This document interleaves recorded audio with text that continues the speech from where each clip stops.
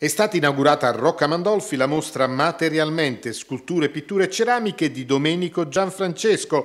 alla presenza del sindaco Giacomo Lombardi, di alcuni consiglieri comunali e di un buon numero di curiosi, la mostra ha riscosso un buon successo di pubblico. Domenico Gianfrancesco del resto appartiene a quella schiera di ceramisti e artisti che attraverso le figure, i segni, le storie narrate dalle immagini che propone, nella magia di una creatività elaborata dalle mani, nei misteri di formule, negli intrecci di culture, traccia l'itinerario di un viaggio nei segni di un'arte, di un modo di ridisegnare, plasmare, modellare e immaginare la realtà. Il comune ha dato il suo assenso, poi ha fatto tutto lui con la sua famiglia e per questo gli vanno i ringraziamenti più sentiti. Tra l'altro questa è la prima, mh, mm,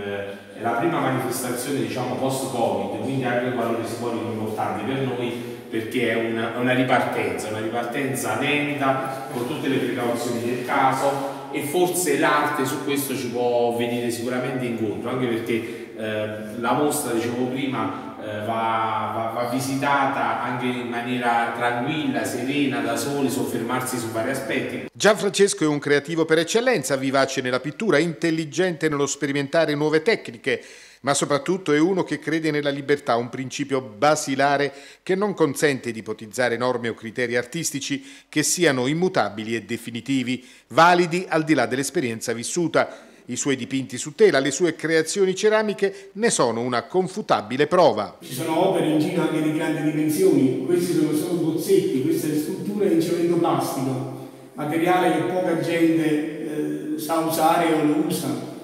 Eh, si possono fare opere anche di 20-30 metri alti. Quella è una scultura che rappresenta due vele e ora ne sto facendo una che di 6 metri alta, logicamente porta strutture metalliche abbastanza grandi. La mostra resterà aperta per tutto il mese di agosto, nei giorni di mercoledì, giovedì, venerdì, sabato e domenica, dalle 10.30 alle 12.30 e dalle 18 alle 20, escluso il 14 e 15 agosto, e arricchirà così l'offerta turistico-culturale del paese matesino.